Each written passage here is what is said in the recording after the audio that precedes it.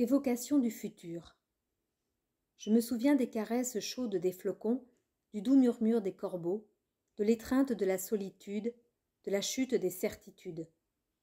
Des pas froufrous sur la neige, du givre sur le mât en arpège, des frémissements de la glace sortilège.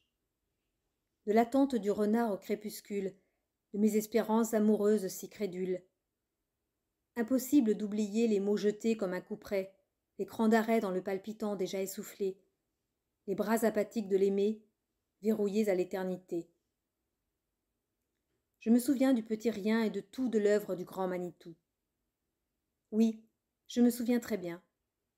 Je sais qu'un jour la nuit sera calme. Après la fureur, je répondrai à la question du bonheur. Nous avons bien festoyé entre ennemis, saccagé jusqu'à l'infamie, tiré profit de l'âme des forêts, des montagnes et des rivières, fait des océans des cimetières à ciel ouvert. Les poissons que l'on pêche se nourrissent de plastique et d'hommes que nous laissons sombrer. La Méditerranée engloutit déjà les plus sacrifiés. Si insignifiant dans le galactique, nous avons quand même réussi à déposséder l'Afrique, exploiter l'Amazonie, brûler la Sibérie, l'Australie et à réchauffer l'Arctique. L'avenir n'est plus aux ronrons, pardons ou jurons, mais bel et bien au coup de clairon. Mais ne nous y trompons pas. La terre n'a pas plus besoin de nos croyances, de nos artifices que de notre arrogance. L'impermanence régente la règle du jeu du vivant.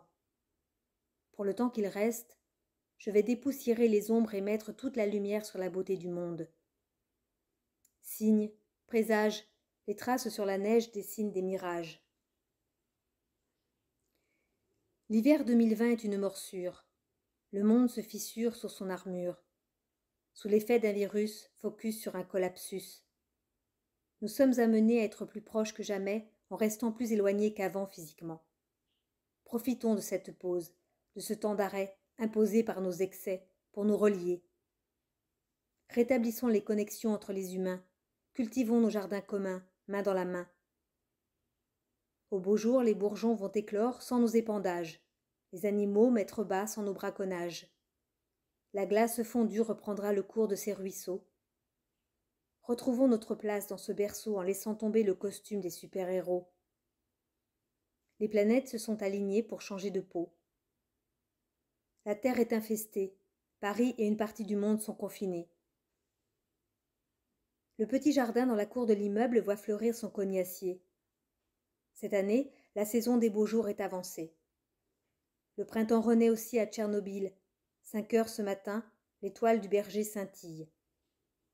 Dans la lagune, Venise accueille les dauphins.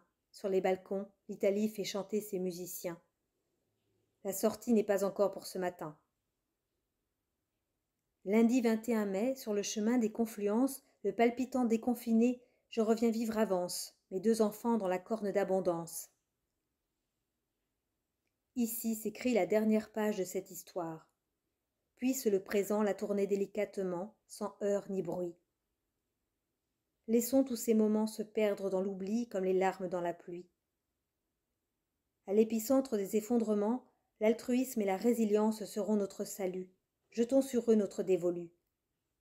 Il nous faut continuer à aimer, relever les défis et les manches aussi.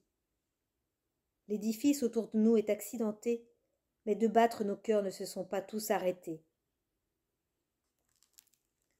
Extrait de Au Groenland, souviens-toi de l'avenir de Ferial. Lu par une lectrice du cercle de lecture de l'écriture nomade.